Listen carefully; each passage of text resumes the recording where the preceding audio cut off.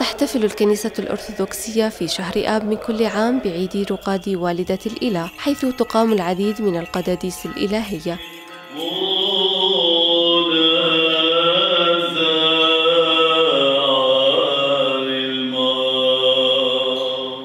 ففي كنيسة دخول السيد إلى الهيكل للروم الأرثوذكس في الصوفية ترأس المتروبوليت فينيديكتوس متروبوليت فيلادلفيا وسائر الأردن. القداس الإلهي بعيد رقاد والدة الإله وعاونه عدد من الآباء الكهنة بحضور جموع من المؤمنين.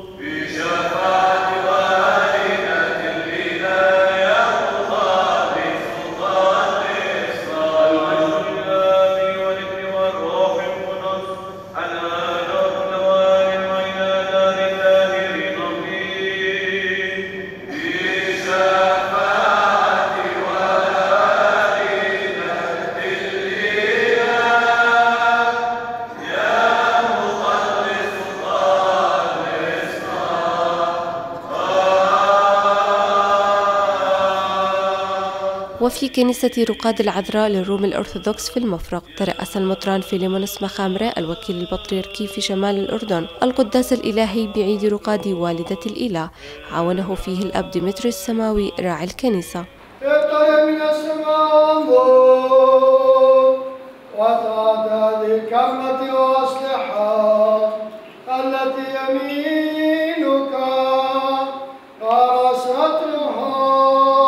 وتحدث المطران مخامرة في عظته لأبناء الرعية عن أهمية هذه المناسبة وتكريم السيدة العذراء في حياتنا.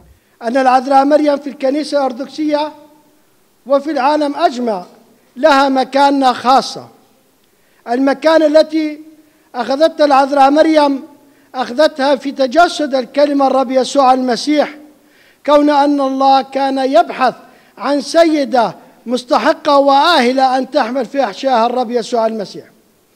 وهكذا كما يقول الكتاب المقدس ولما حان ملء الزمان أرسل الله ملاك جبريل عذراء مريم.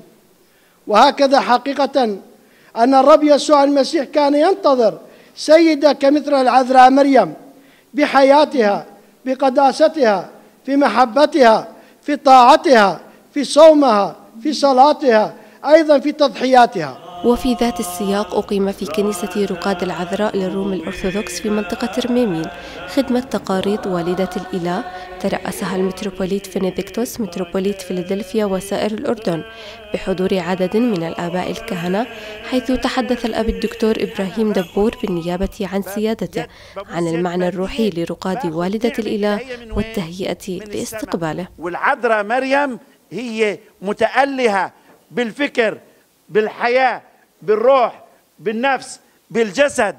مشان هيك رفعها إلى السماء. وهيك إحنا أيضا لما إحنا بنخلص ومنجاهد زي ما جاهدت المريم العذراء بمحبتها ببتوليتها بفكرها بكل شيء عملته هيك إحنا أيضا نرتفع للسماء مريم العذراء هي أمنا. وكيف الواحد لما برتمي بحضن أمه مهما كان في ضرب برا ضرب وقنابل ولا زوابع ولا رياح ولا إشي لا يشعر إلا بالحنان والدفء والأمان بحضن أمه.